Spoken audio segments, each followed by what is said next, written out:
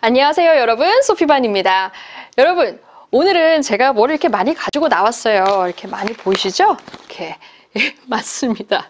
이게 많은데 아유 뭐 꾸미고 자시고 할 것도 없이 그냥 솔직하게 보여드리고자 가지고 나왔습니다. 이것들이 뭐냐면은 제가 요즘에 쓰고 있는 공책들입니다 이 공책이 왜 이렇게 소피는 정리정돈이 잘 안 되나 봐 라고 생각하실 수 있겠지만 이 개발세벌 쓴것 같아도요 알고 보면 정리가 싹 다 되어 있습니다. 제가 오늘 이 공책을 더 들고 나온 이유는요 우리 밑빠진 독 맥북이 하고 있잖아요 그 메꾸기 작업 중에 제가 한 가지 말씀을 못 드렸던 게 있더라고요.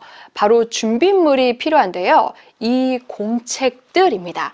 이 공책이 뭐 대단해. 이게 공책 아무거나 그냥 동네에서 천 원짜리 갖다가 쓰셔도 괜찮습니다. 이 공책이 표현만 담거나 단어만 외우는 그 제가 제일 싫어하는 거 여러분 아시죠? 예, 그쪽이 아니라 우리 밑빠진 독을 메꾸는 그 핵심은 뭐다? 그렇죠. 나의 잘못된 점, 나쁜 습관을 고치고자 오류의 폭을 점점 줄여서 나를 단단하게 만드는 거죠. 그래서 이거는 바로 오답 노트들입니다. 이렇게 생각을 했는데 이 부분이 틀렸었구나. 그리고 나는 이렇게 말을 한 적이 있었는데 그때 그 사람이 왜 이해를 못했었는지를 알게 됐다. 뭐 이런 오답 노트들이 있는 거죠. 전체 다섯 건이 다 오답 노트는 아니고요. 다 용도가 있어요. 이 첫 번째 거는요. 이 그냥 아이디어 공책이에요. 그래서 제가 우선순위대로 다 보여드리긴 그런데 예를 들면 이렇게 있잖아요. 지금 이런 모습. 그러면 내가 하고 싶었던 말들 그 문장을 적고 아 이 표현 이렇게 말하면 되겠다 이거 여러분이랑 같이 나눠봐야지 하는 그런 생각이 막 번뜩번뜩 떠오를 때마다 이런 아이디어 노트에다가 쭉 씁니다 이거를 이렇게 돌아보니 최근에 제가 쓴 거는 어, 미국에 이제 세금 보고 시즌이 돼가요 그래서 그 tax filing을 할 때 주로 한국 분들이 좀 힘들어 하실 수 있는 그런 표현들, 영어 단어들, 뭐 이런 것들을 제가 어, 좀 써놓은 게 있네요. 그리고 또 이제 회계 감사 기간이 되면서 그 사인을 계속 받아야 되는 거 있잖아요. 이런 건 또 뭘까? 뭐 이런 식의 아이디어가 생활 속에 부딪힐 때마다 떠오를 때 고를 때 이런 공책에다 적어두고요. 그리고 또 이거는 어, 만약에 백신 이 이렇게 뭐 세 가지 회사에서 나왔잖아요. 그러면 주로 나왔는데 이게 백신이 중요한 걸까? 아니면 치료제가 더 중요한 걸까? 뭐 이런 저만의 일기 같은 거를 영어로 쓰고 아이디어랑 이런 거를 그냥 쓰는 거죠. 예, 이것도 비슷한 용도입니다. 예, 그리고 또 이 하나는 어, 이렇게 보시면 뭐 캐러고리가 이렇게 붙여진 게 뭐라고 써져 있냐면 당장 오늘 할 일 뭐 이런 게 붙여져 있어요. 이거는 아주 급한 건들 바로 보고 싶은 그런 일들 처리해야 할 일들입니다. 영어가 생활 속에 내가 해야 할 말이라고 생각하면은 내 하루의 우선순위 일들도 영어로 자꾸 쓴다거나 이거를 영어로 어떻게 표현할까라는 그런 아이디어를 자꾸 굴리게 되죠, 사람이. 틀려도 그냥 해보는 겁니다. 그러다 보면은 알아맞추고 싶잖아요. 맞는 표현을 찾아보고도 싶고 그러면서 점점 더 우리는 나아지는 거겠죠. 그리고 이 노란 거는 뭐냐면 얘는 좀 거창해요. 얘도 이렇게 우와 이렇게 보시면 이렇게 뭔가 이렇게 많잖아요. 글씨가.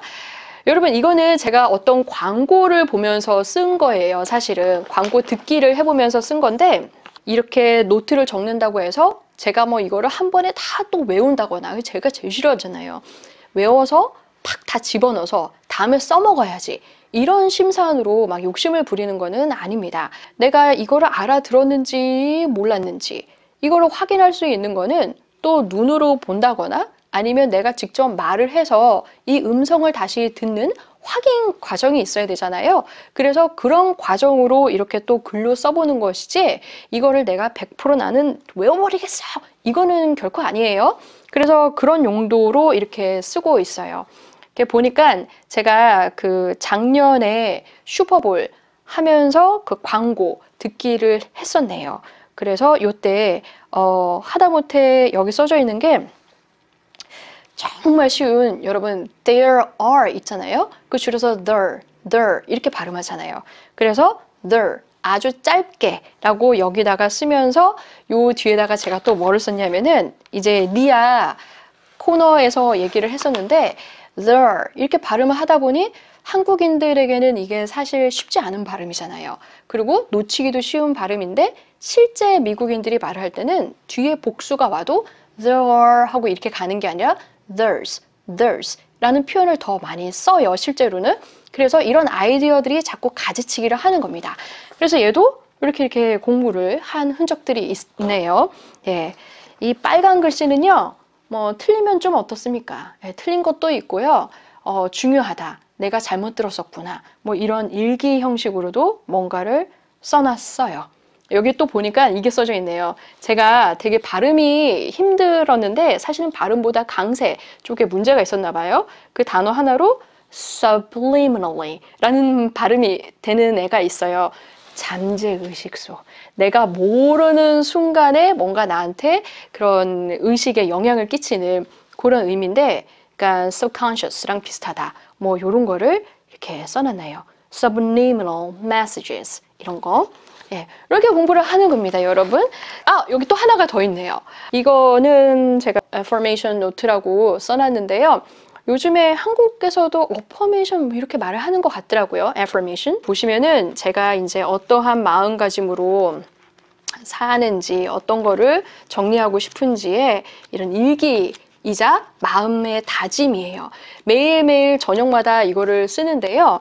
이 이유는 뭔가에 대한 의지나 열정이 막 샘솟아서 올라가다 보면은 사람이 그 욕심과 열정의 그 중간, 뭔가 그 균형이 흐트러져서 좀 나를 들볶는 때들이 있잖아요.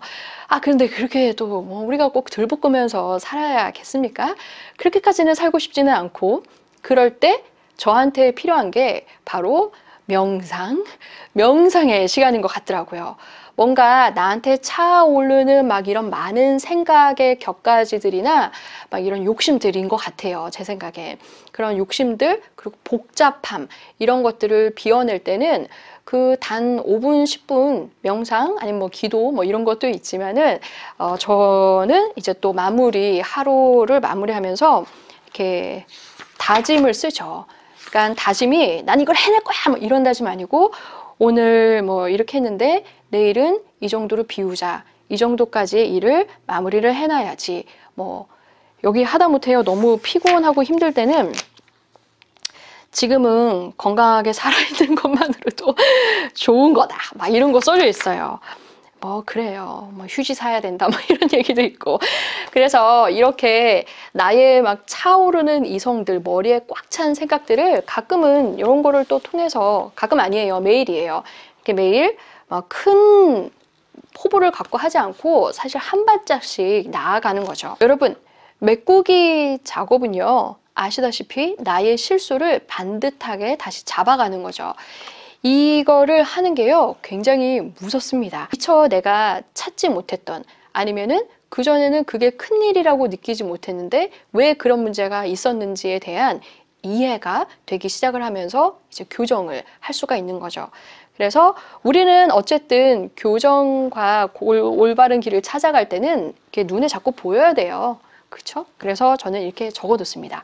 그래서 그냥 막무가내 표현 노트나 뭐 이런 것도 뭐 좋겠지만은 저는 반드시 오답 노트를 꼭꼭 마련을 하실 것을 부탁을 드리고요. 네, 여러분 이걸 준비를 하셔서 같이 공부를 했으면 좋겠어요. 이렇게 우리가 공부를 하기 전 제가 빠뜨렸던 준비물에 대해서 좀 이야기를 해봤습니다. 다른 영상에서 뵐게요.